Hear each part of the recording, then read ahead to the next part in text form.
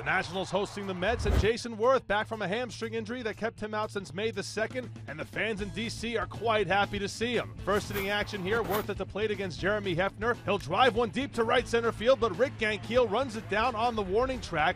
Werth would go one for four in the ballgame. Bottom two now, Ian Desmond at the plate for Washington, and he'll send one deep to left field off of Hefner. Nobody's catching this one. Number eight on the year for Desmond puts Washington on the board first. It's 1 0. Jump to the fifth inning, same score. Jordan Zimmermann 5 0 at home this season coming into Tuesday. Here there's one on and one out for Rick Ankiel. He'll ground one to the right side. Adam LaRoche gloves it, but throws wide to second base, and it pulls Ian Desmond off the bag. Everybody's safe, and the Mets are in business.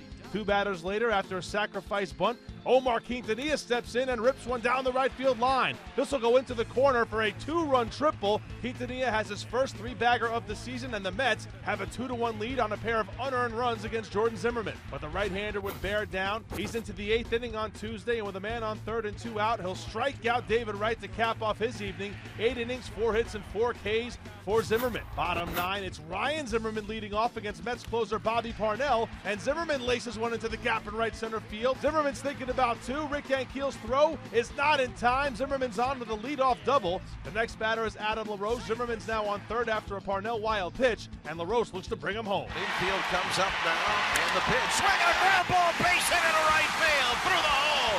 Zimmerman comes in to score. LaRoche with a single to right has tied the. WJFK provides the call. LaRoche deals Bobby Parnell his third blown save of the season, but Washington's rally would continue later in the ninth with Steve Lombardozzi at the plate. Bases loaded, nobody out. The kick and the pitch. Swing and a line drive, left field toward the line is Baxter going back, makes the catch. LaRoche tags, he's coming home. The throw is not in time.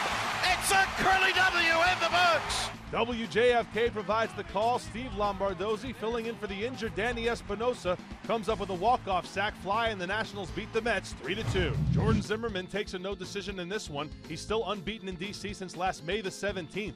Tyler Clippard records the win. Bobby Parnell takes the loss. Washington not only activates Jayson Werth Tuesday, but also calls up Anthony Rendon from AAA, and the Mets fall to 1 10 in Jeremy Hefner starts this season.